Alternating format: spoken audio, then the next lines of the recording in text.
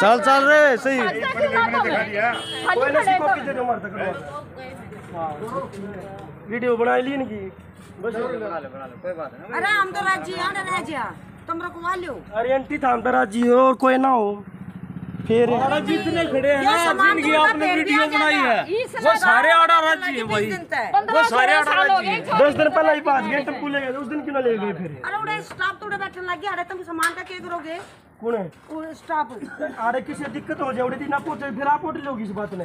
अरे जब staff nurse थोड़े बैठने लगी बताने मैडम बड़ी नकदी खाली करवा दो अपनी गाड़िया को कूड़ा घेर लेंगे। अरे सुन एक मिनट पढ़ लिया पढ़ लिया ना बेटे है ना इसमें? हाँ कॉपी दिखा दो आप कॉपी पढ़ तो लिया इसने एक कॉपी भी लिया हाँ, ले जाओ बस। हमारा जो काम हम अपना कर लेंगे। हाँ जो तुम्हारा काम है सुनो सुनो। ये नंबर दे जिस अधिकारी के पास जाना है जिससे जो करना हो वो करो। ये नंबर लेंगे अपनी तरफ़ से पंगे ना लो भाई।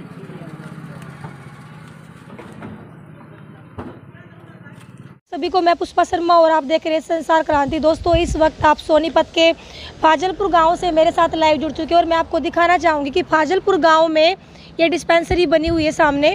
कैमरामैन से कहूँगी, आपको पूरी की पूरी डिस्पेंसरी जो है दिखाई जाए। दोस्तों बहुत बड़ा मुद्दा सोनीपत से जो है निकल कर सामने आया। ये डिस्पेंसरी जो है, यहाँ पे डिलीवरी कराई जाती है और 27 अट्ठाईस गाँव की डिलीवरी जो है, यहाँ पर फाजलपुर गाँव में होती है। लेकिन सेंटर जो पास है, वो बटाना गाँव का पास है और 12-13 सालों से यहाँ पे डिलीवरी जो है कराई जाती थी। आप देख सकते हैं दोस्तों, हर एक गाँव में, हर एक गाँव के, हर एक घर में गर्भवती महिलाएँ होती हैं और उनको कभी भी इमरजेंसी हो सकती है और इमरजेंसी में जो भी पास का डिलीवरी सेंटर नज़दीक पड़ता है पब्लिक जो होती है, जनता जो होती है, गाँव वाले जो होते हैं, उसी सेंटर में जाने की सोचते हैं। लेकिन आज एक बहुत बड़ा हादसा यहाँ पे हुआ है। सरकारी हॉस्पिटल सीएमओ के आदेश से यहाँ पर आप देख सकते हैं, सारा सामान उठा लिया गया है। गाँव वाले यहाँ पर इकट्ठा हुए, पुलिस कंप्लेंट जो है यहाँ पर की गई। क्योंकि अगर यहाँ से ये शिफ्ट हो गया तो गाँव की जो महिलाएँ, उनकी डिलीवरी कहाँ पर कराई जाएगी? गाँव में कैमरा आपको मेरे कैमरामैन से कहूँगी कि साथ साथ आपको दिखाया जाए। ये डिलीवरी जो सेंटर है, इसकी पुरानी बिल्डिंग थी। इस बिल्डिंग को बदल के अभी यहाँ पे रिपेयरिंग का काम है, जो चल रहा है, यहाँ पे शिफ्ट कर दिया गया। अपील करना चाहूँगी मेरे साथ बने रहो और वीडियो को साथ के साथ शेयर ज़रूर करते रहे दोस्तों। शेयरिंग आपकी रुकनी नहीं चाहिए। ये खुलवाइए यहाँ से। खोलिए इसको एक बार। तो फाजुलपुर गाँव के डिलीवरी सेंटर से इस वक्त हमारे मेरे साथ लाइव जुड़े हुए हैं। अपील रहेगी हमारे साथ बने रहो, वीडियो को साथ के साथ शेयर ज़रूर करते रहें। दोस्तों, हर एक गाँव की जो बुनियादी ज़रूरतें होती हैं, वो है एंबुलेंस पार्क स्कूल और डिस्पेंसरी। हर एक गाँव में ये चीज़ें होना बहुत ज़रूरी आप देख सकते हैं, ताला लगा हुआ है यहाँ से बेड वगैरह। या डिलीवरी सेंटर जो है यहाँ पर बनाया हुआ था। सारे बेड वगैरह जो है यहाँ से आज टेंपो भर के ले गए हैं। गाँव वालों ने काफ़ी रोकने की कोशिश की, लेकिन गाँव वाले मजबूर रहे। अभी गाँव वाले जो हैं, यहाँ पर इकट्ठा है। चलिए उनसे बात करते हैं, क्या कुछ मामला है। मैं थोड़ा आने में लेट होगी, पूरा गाँव यहाँ पर मौजूद था। सबसे पहले ताई जी, आप आगे आए। ताई जी आगे आए। आगे आए। नमस्कार ताई जी। नमस्ते बेटे। हाँ ताई जी इसको हटा लीजिए कोई बात नहीं। हाँ ये जो फाजलपुर में सेंटर है सामान उठा लिया गया क्या कुछ कहना चाहेंगे? मैं यूँ कहना चाहूँगी सामान क्यों उठा? जी। क्यों उठा? सामान किस बेस पर उठा? जी। जब ये अड़तीस साल तक डिस्पेंसरी थी जी। तो क्यों उठी बेटी? जी हमारे बालक से रात बरात में कोई दिक्कत हो जाए कित लेकर जाएँगे मर गए तो कौन जुम्मेवार होगा बच्चा मर जाए या लेडीज़ मर जाए उनका जुम्मेवार कौन होगा बता कौन होगा मैंने सुना है आंटी जी सत्ताईस अट्ठाईस गाँव की अकेली डिस्पेंसरी है जो यहाँ पे डिलीवरी कराई जाती है म- मैं कहूँ पेरा ना कित की ताव है बेटी तू सत्ताईस अट्ठाईस का है अरे चालीस पचास गम्मा के आवे हैं जो मुझे जानकारी मिली है हर महीने यहाँ पे कम से कम तीस पैंतीस डिलीवरी जो कराई जाती रही है। कितना क्या कुछ सच्चाई है? क्योंकि आप गाँव की बुज़ुर्ग महिला हैं। बेटे याड़ा कम तो कम भी है ना तीन चार डिलीवरी रोज की हैं।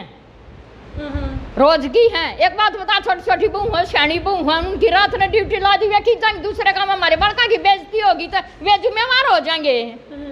एक लेटर यहाँ पर दिया गया जो सीएमओ के द्वारा पास किया गया है। एंड ताई जी ये कहना है कि बटाना गाँव का सेंटर पास है। तो क्या कुछ कहना चाहेंगे आप? वो हमने तो बटाने गाँव की सुनी नहीं बेटी। यो सामान आज एकदम तो उठा है। बटाने काम की इसी तिसी करी हम न जब चालीस साल हो गया डिस्पेंसरी ने। हैं?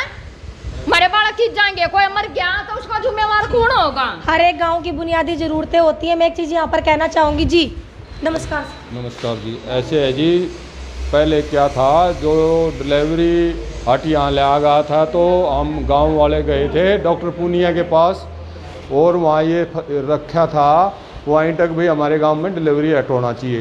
वो बोले हमारे पास बजट नहीं है। तो गाँव वाले ने अपने पैसे लेकर ये जो कमरे दिखाए हैं ये अपने पैसे से रेज किए न कि गवर्नमेंट के उससे। डिलीवरी हट यहाँ आ गया। डिलीवरी हटाने के बाद और अभी हम P P H C Batana के अंडर थे।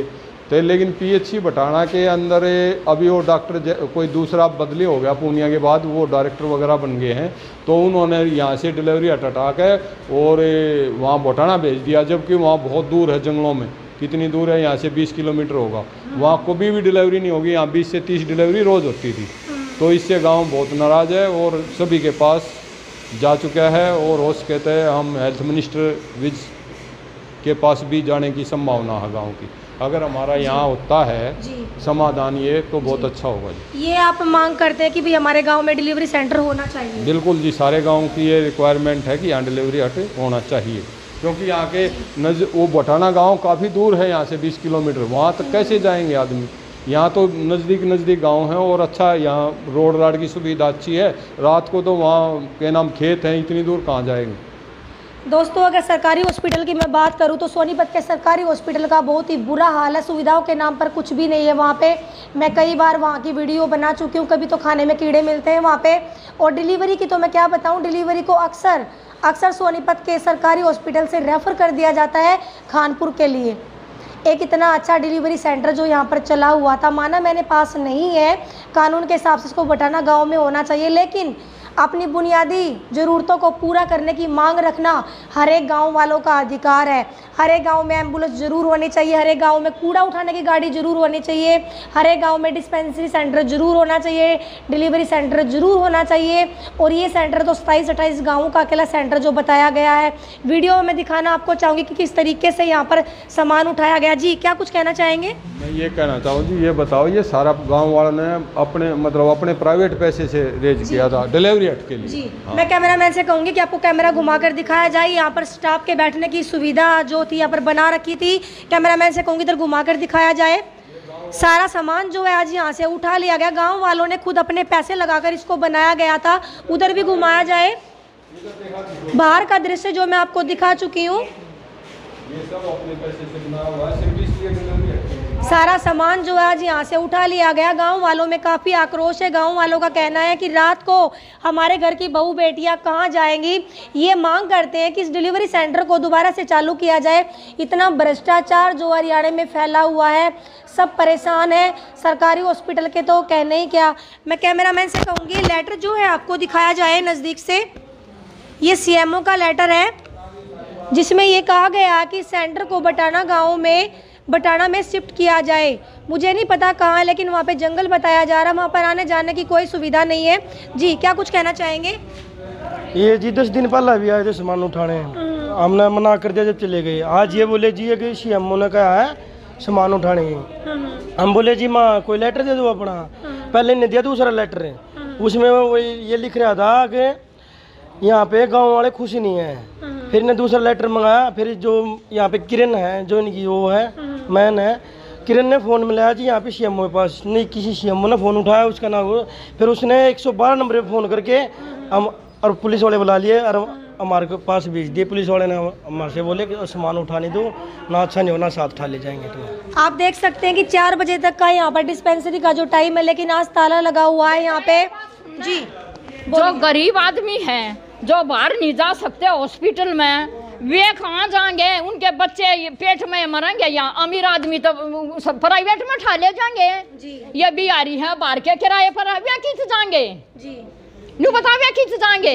नमस्कार। हाँ वे खींच जाएँगे? भाई क्या कहना चाहते हैं? आप यहाँ पे ये जो इसमें लेटर में ये लिखा गया है कि जो गाँव वाले थे इस डिलीवरी सेंटर से खुश नहीं थे क्या कुछ कहना चाहेंगे? ना हम तो खुश आड़े रहना हम खुश आड़े रहना चाहिए। आड़े डिलीवरी आड़े होनी चाहिए आड़े रहना चाहिए सारा हम ताड़े खुश है। पूरा गाँव जो है यहाँ पर मौजूद था। जिस वक्त ये सामान जो यहाँ से उठाया गया, आप देख सकते हैं, गाँव की बुज़ुर्ग महिलाएँ, गाँव के बुज़ुर्ग आदमी और युवा इस वक्त मेरे साथ मौजूद हैं और सभी नाखुश हैं और इस लेटर में, इस लेटर में ये लिखा हुआ है कि यहाँ के ग्रामीण वासी यहाँ से संतुष्ट नहीं है, खुश नहीं है, इसलिए सामान जो उठा लिया गया है, बहुत ही गलत, बहुत ही गलत कार्य मैं इसको कहूँगी जो फाजलपुर गाँव में कानून को हथियार बनाकर यहाँ पर जो वहाँ का सेंटर पास है, यहाँ है तो आप देख सकते हैं, बिल्डिंग दोबारा से बताना चाहूँगी, गाँव वालों ने खुद ये बिल्डिंग बना रखी है, अपने गाँव की बहू बेटे की सुविधाओं के लिए। तो दोस्तों, अपील करना चाहूँगी कि वीडियो को इतना शेयर ज़रूर करें ताकि अनिल विज तक ये वीडियो पहुँचे और यहाँ पर कुछ कार्रवाई हो सके। गाँव वाले का ललित बतरा जिसे भी इस मामले में मिले, उनसे भी मुलाकात करेंगे, उस मामले में जानकारी लेंगे। सोनीपत की ऐसी खबरों के लिए बने रहें हमारे साथ। जय हिंद, जय हरियाणा।